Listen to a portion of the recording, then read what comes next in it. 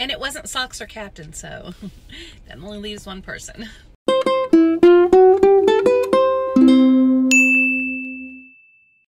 Hey y'all, and welcome to Hot Chocolate Chat. Today I'm drinking a hot chocolate from Starbucks.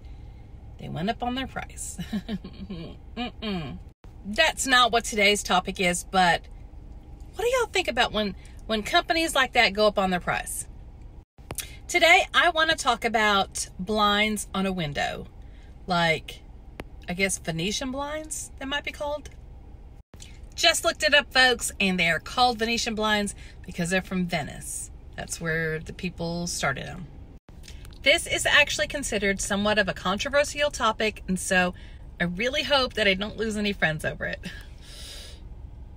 When you close the blinds, do you make the slats go like like up or down?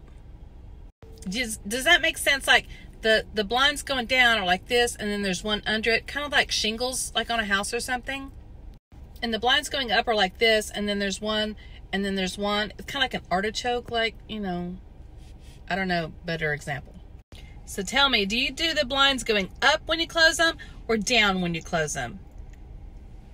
Tell me why, too. The way that I do them in our house, we do have the blinds going both ways, which, sorry, OCD friends, I know, I know, they should, I know. I agree that the entire house should be either going up or down, like, make up your mind person that closed the blinds in the house. It wasn't me. And it wasn't socks or captain, so that only leaves one person. I'll let you I'll let you have a guess. Marvin. I think if like I actually don't care which way they go, but I probably prefer them going up.